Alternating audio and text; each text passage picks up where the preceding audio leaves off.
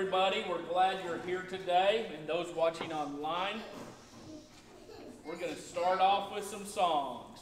Blue skies and rainbows and sunbeams from heaven are what I can see. When my Lord is living in me, I know that Jesus is well and alive today.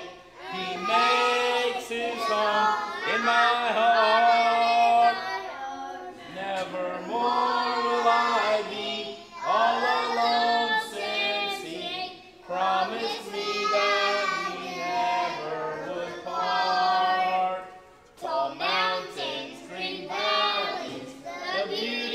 Surrounds me all makes me aware of the one who made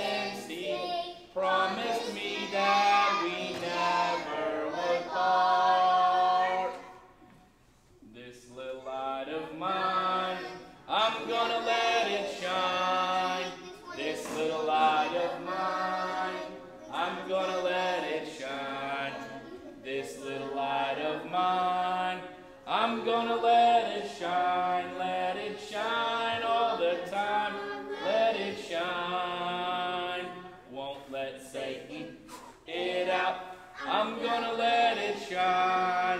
Won't let Satan it out. I'm gonna let it shine. Won't let Satan it out. I'm gonna let it shine.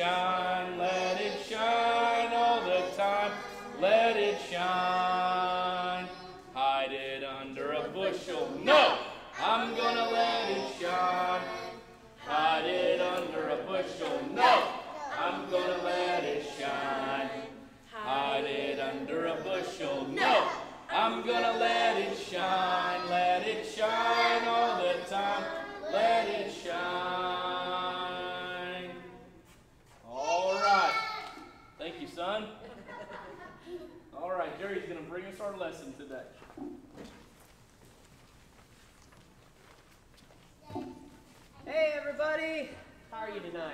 Good. All right. So our Bible story today is called God Calls Samuel.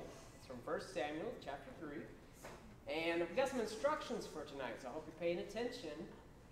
Every time, whenever I hold my hands up to my mouth like this, I want you to go with me. Samuel! Samuel!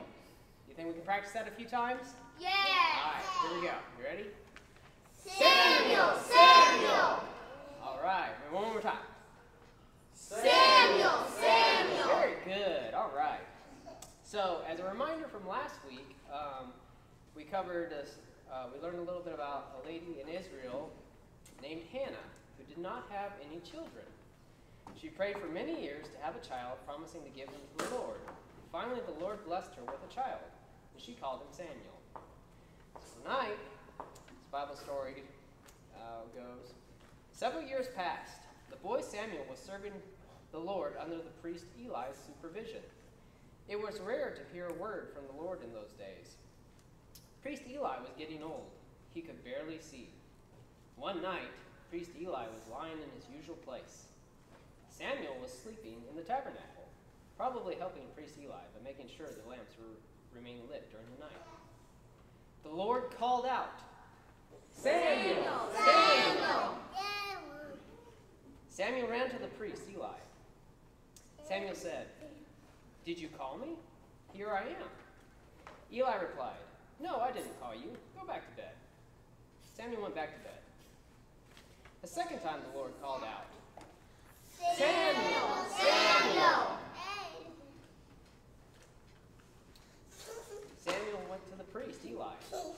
Samuel said, Did you call me? Here I am. Eli replied, No, my son, I didn't call you. Go back to bed. Samuel went back to bed. A third time, the Lord called out, Samuel! Samuel! Samuel said, Did you call me? Here I am. By this time, priest Eli realized that God was calling Samuel. So Eli said, Samuel, it is the voice of God calling you. Go back to your bed. If the voice calls again, say, Speak, Lord, for your servant is listening. Samuel went back to bed. A fourth time, the Lord called out. Samuel! Samuel! This time replied, Samuel replied, Speak, Lord, for your servant is listening. God spoke to Samuel, giving him a special message. God had special plans for Samuel's life. Samuel became a great servant of God. He became a priest and prophet of God, respected by God and all the people in Israel. So now there's some questions on your tables that you all can answer as a family, um, and you can decide what questions you want to answer, and you can take that time to go through those now. Okay, well, let's go over the craft. Oh, yeah. Let's go over the craft. okay, um, for those of you that are watching at home, we have two activities that you can do. One activity is for our younger kids, and that's the one I'm going to be explaining, but on the paper, you can also go and read the information for our older kids as well. Okay, guys, we're going to make some listening ears. Because you know what? I need some bigger ears. Sometimes I can't hear very well. okay, we're going to make some listening ears. You have a couple of things at your table that will help you make these. First, you have a page like this. Okay? You can color this if you want to. Make your ears any color you want. Also, parents, there are stamps and those are for you to unwrap, and you're welcome to take those home with you. You can use those stamps to stamp on the ears or on the headband. You're going to cut these out. Please be careful when you're cutting them out. You need to make sure that you don't cut off these little flaps. Okay, these are the flaps that will help you attach them to your headband to your headband. Don't staple them to your real ears. Okay?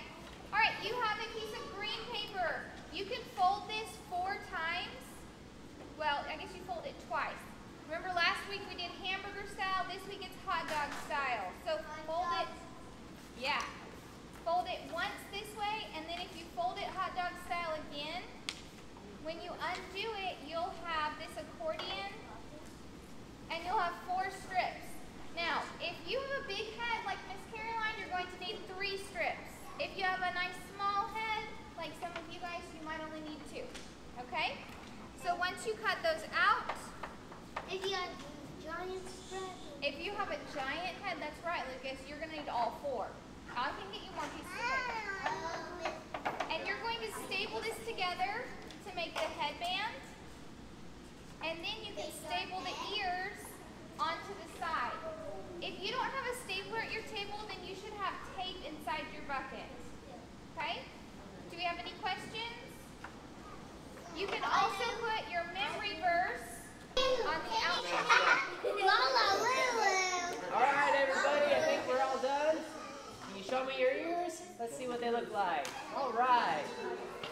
So what are these ears going to help us do? They're going to help us to remember to listen.